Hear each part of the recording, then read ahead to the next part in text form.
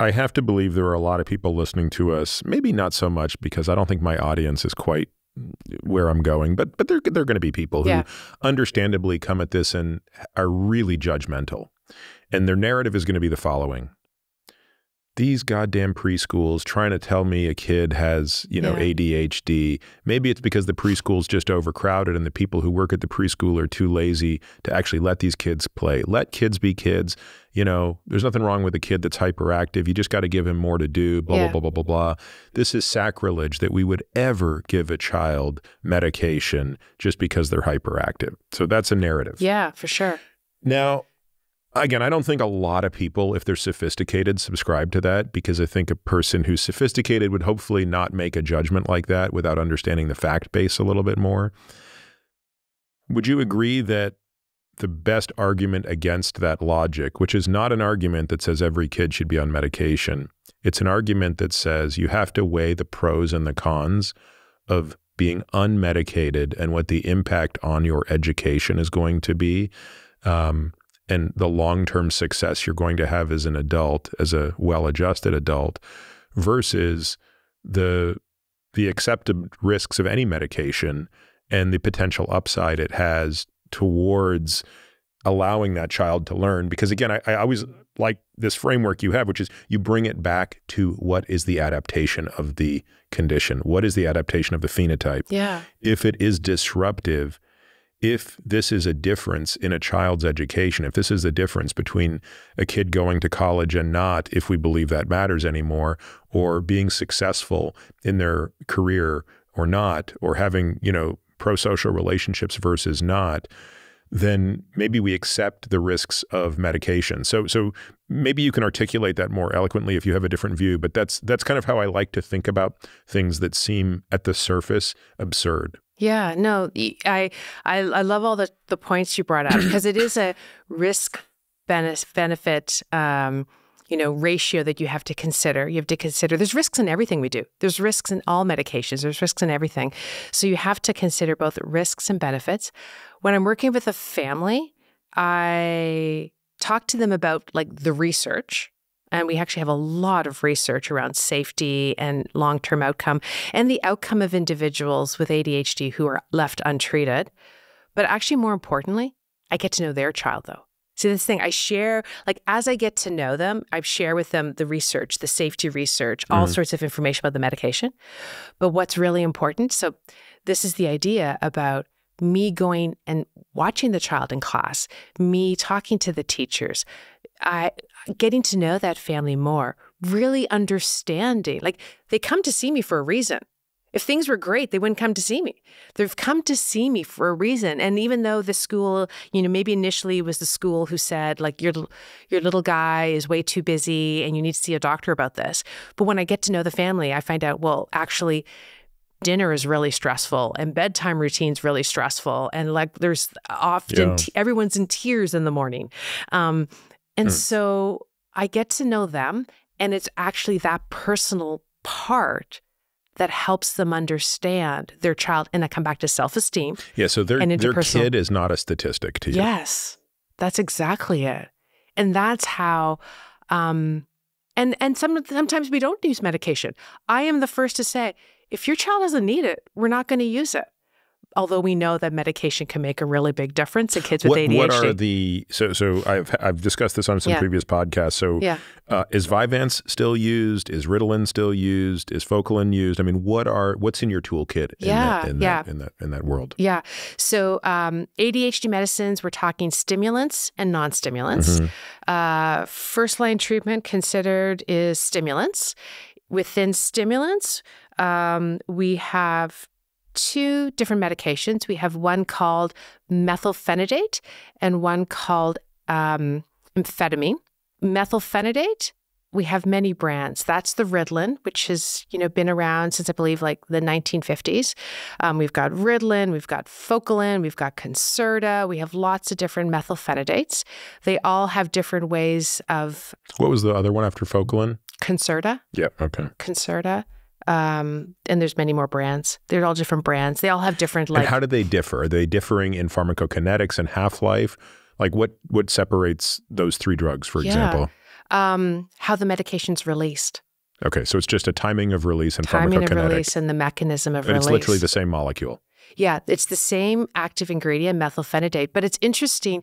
Kids respond differently to the different um, medications, the brands, because the release mechanisms are different. So some kids are sensitive. Some kids are. So, in other words, if a kid comes in and you try one of these and you don't get the response you want, you don't necessarily abort the entire molecule. You might switch to a different um, formulation. And I only say this because I can't tell you the number of parents I have spoken with Yeah. who have said, my kid was on Ritalin. It was a disaster. Yeah. When they switched to Focalin, it got so much better. yeah, Is that that's exactly right. And so, and there's no science, unfortunately, to tell us Which which, one's one's, going to- work for your child. Yeah. Um, so you have to basically try a few. okay? And then the other one you said was just straight amphetamine. Amphetamine, so that's Adderall, Mhm. which has been around since the 1930s. And then there's, you mentioned Vyvanse, Vyvanse, Dexedrine. So there's medications um, in that group. And again, same deal. It's literally the difference between Vyvanse and Adderall is release and kinetics. Yeah, Vi- uh, yes, Vyvanse is actually called a, a prodrug. It's actually just got a little molecule attached to it that needs to be cleaved in order for it to to Yep. work. But Okay. they're all yeah the same. Again, it's very counterintuitive to people Yeah. why you take a hyperactive kid and give them a stimulant. Do you want to just give the brief overview of why that works? Yeah. So the way these medications work is they uh, increase uh, dopamine and norepinephrine in the synapses between the brain cells in the parts of our brain that are important for executive functioning, attention, inhibiting impulses. So the part of the brain, the prefrontal lobes, where that all the executive function attention happens, um, we have our brain cells have to communicate in order to see that behavior, attention.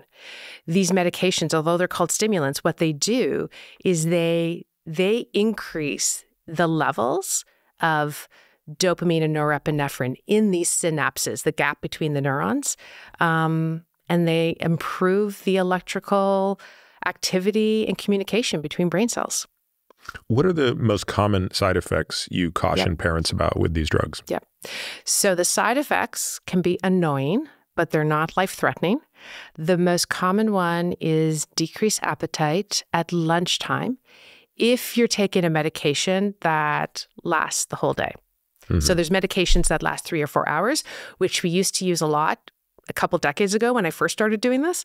Um, but about 20 years ago, we started using extended release a lot more. And so extended release is that it lasts like, you know, eight hours or 10 hours for the day or 12 hours a day. And so those medications impact your appetite at lunch. Uh, breakfast and dinner are usually fine. Um, there's this chance that it impacts sleep onset, which is really important because sleep is super important, kids Yeah. but it can impact sleep onset. And if that's uh, a problem, we you know we adjust the timing of the of the medication in the morning. Um, But these are generally single administration first thing in the morning drugs, I assume. yeah, so it's really they're really easy to use because you you take it in the morning, they start to work. The like the extended release will start to work within an hour, and then they're working for the majority of the day. Then they come out of your system at the end of the day, and so uh, tomorrow, um, unless you give the medication to your child again, um, It's like they've never been on it. it's like they've never been on it. What are the differences then between the Ritalin class and the Adderall class? Do you have any suspicion one way or the other as to which is going to be more effective if you were to prescribe Focalin Yeah. versus Vyvanse? Yeah. So uh, when I first meet a young child, I generally start with methylphenidate, and that's what most clinicians do with little kids. And the reason for that is that the meta analyses show that kids tolerate methylphenidate a tiny bit better than amphetamine.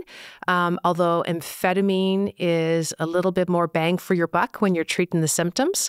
Um, that being said, no kid is a statistic. Like every Yeah. kid's different. So I have just as many kids on Adderall as I have on Ritalin. So um, Interesting. Yeah. So I use I have to say I use every single brand out there, um, and uh, but I start with methylphenidate because it's shown to be tolerated better. You mentioned a second ago that if your kid's been on this drug every day for a year and experienced all these benefits, and then they come off the drug, it's like they were never on the drug. Does that suggest that in the in the I hate to use the description this way, but I think you understand me. In the drugged state, Yeah. you don't get to do behavioral therapies that also have a positive impact independent of the drug, such that if the drug comes off, the phenotype is changing. Is that not to be expected? So I I want kids to be actually practicing skills when they're on the medication. Yeah, in in theory, they should be able to do a better job. It should be easier for them to practice the skills on the medication. Yes. So so let me say a couple things. So um, so in theory, um, uh, when they're on the medication, they should be. It's easier for them to practice paying attention, Sure. controlling your impulses, controlling your hyperactivity. In addition to that, this is where the behavioral parent training part comes in, which is actually now a recommendation that every family should have, um, should be doing. Training specifically for family, not just child. Tr- Yes. Okay. Amazing how powerful parents can be in modifying the behavior of their child. So, parents undergo the training, and the child might undergo some sort of therapy, regulation group. Uh, when they're older, they undergo executive functioning coaching to learn organization and planning. So, what it is, is you are trying to develop these skills. So, um, when we practice something over and over and over again, not only we develop new like behavioral strategies, behavioral patterns, new habits, we actually positively impact the developing brain. That's neuroplasticity, which is one of my also my um, my passions is neuroplasticity. But we impact the brain through experience and our behaviors. Um, so when a child has ADHD, um, it is a wonderful time to practice new skills and you actually impact neural networks.